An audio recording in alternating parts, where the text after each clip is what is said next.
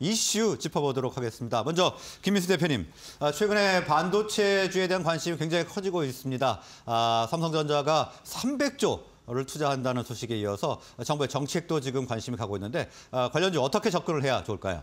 네, 어, 반도체주를 볼 때 업황에 대해서는 아직 뭐 확실하게 얘기를 드릴 수가 없는 상황들이죠. 어, 업황은 안 좋지만 이제 개선이 될 것이다라는 어, 부분에 대해서 베팅을 하느냐라는 부분들이 남아있는 가운데 그래도 최근에 나왔던 트렌드 포스의 보고서를 보게 되면 어, 사이클은 어, 생각보다 좀 당겨질 수 있겠다라고 하는 내용들이 있다 보니까 그에 따른 기대감들이 최근 들어서 좀 반영되는 걸로 보여지고 있고요. 게다가 또 K칩스법이 3월 말 정도쯤 돼서 통과가 될 수 있겠다라는 기대감과 함께 삼성전자에 대한 투자 확대 얘기들 어, 특히 미국에 안 가고 한국에서 이 파운드리를 기반으로 해서 이어가겠다라고 하는 변화가 나오기 시작하게 되면 그에 따른 후공정 섹터라든가 또 디자인 하우스도 같이 성장할 수 있지 않겠느냐라는 변화가 주식시장에서는 좀 미끄러진다고 봐야 될 것 같고요.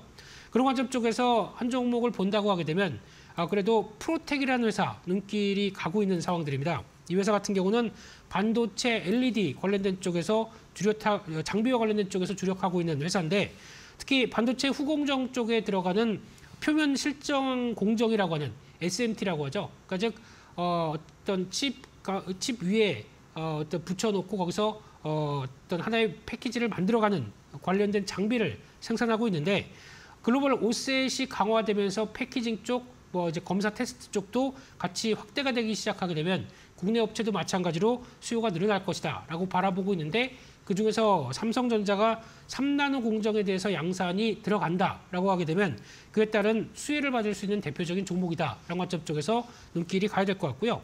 또 하나 그 LED 쪽의 디스펜서 같은 경우는 국내 시장 점유율의 80%를 차지하고 있다 보니까 어, 영업이익률이 한 20%까지 나오고 있는 어떤 캐시카우 역할을 하고 있는 상황들이죠. 이를 기반으로 어, 어떤 반도체 쪽에 대한 수혜를 바라본다라고 하게 되면 실적에 대한 변화가 상당히 클 수 있겠다라는 쪽도 눈길이 가고 있는데요.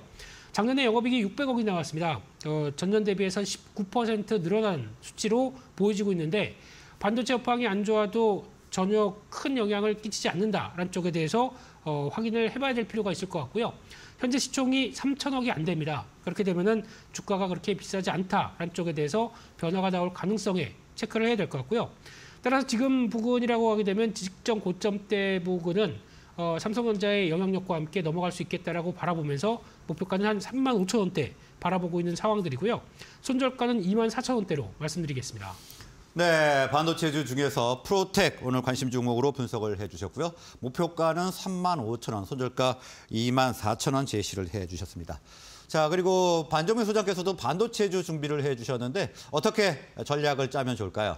어, 사실 제일 큰 포인트가 되는 거는 정부 그 반도체 세액 공제 상향 기대감이 제일 매우 크다라는 말씀 드리겠고요. 사실상 이 반도체 세액 공제와 관련된 부분들은 아, 아까 그 대표님께서도 말씀해 주셨던 그 상황처럼 어, 30일 날 이 부분들이 그 세액 공제 관련된 이슈가 부각받을 가능성이 매우 높습니다. 그렇기 때문에 이 점을 봤을 때는 계속 눈여겨볼 필요가 있지 않을까라고 판단하고 있고요.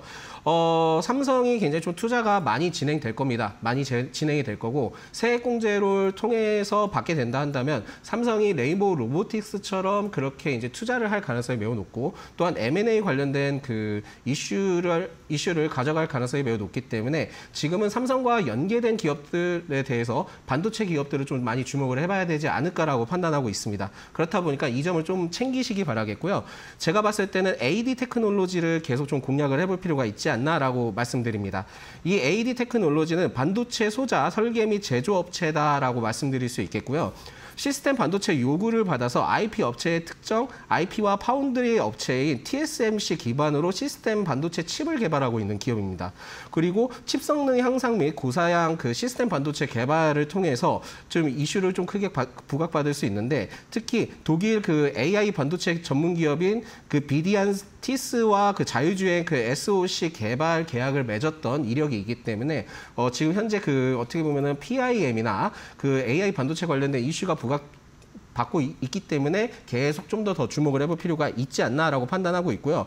사실 이 기업에 대해서 제일 큰 특징을 가질 수 있는 거는 지난 2월 그 시스템 반도체 디자인 하우스 관련 M&A 관련된 기대감을 굉장히 좀 주목을 해봐야 된다라는 말씀 드리겠습니다. 사실상 삼성과 계속 이 디자인 하우스와 관련된 이슈가 계속 부각받을 수 있기 때문에 이 점을 꼭 챙기셔야 된다 말씀드리겠고 동사가 그 09년 TSMC의 그 VCA 선정을 통해서 노하우를 굉장히 많이 축적을 했습니다. 그리고 그 노하우를 축적을 하면서 자체 기술력을 바탕으로 현재 삼성 파, 삼성전자 파운드리와 그 DSP 협력 파트너를 맺고 있거든요. 그렇다 보니까 삼성과 연계된 가능성이 매우 높다라는 좀 판단할 수 있겠고요. 기술력은 디자인 하우스 관련된 부분들을 봤을 때 굉장히 국내 해외보다는 국내 시장이 아직까지는 좀 큰 폭으로 상승하지 못했기 때문에 이 점을 좀 참고를 하시기 바라겠습니다.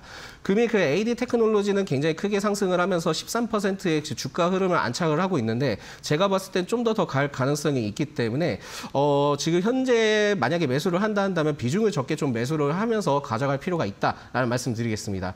그래서 현 그 매수는 현재가로 좀 진입을 해보시기 바라겠고요. 목표가는 사실상 뭐 2만 5천 원까지 생각을 했는데 3만 원까지 단기적으로 더 갈 수 있다라는 말씀을 드리겠습니다. 손절가는 뭐 소- 솔직히 19,700원 지정을 했지만은 지금 현 구간에서 손절가를 다시 지정을 해야 되기 때문에 2만 2천 원 아래 때는 그때는 좀 손절을 고려해 보시기 바라겠습니다.